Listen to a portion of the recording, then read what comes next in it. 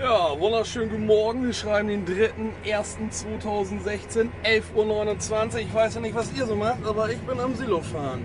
Schönen Sonntag noch.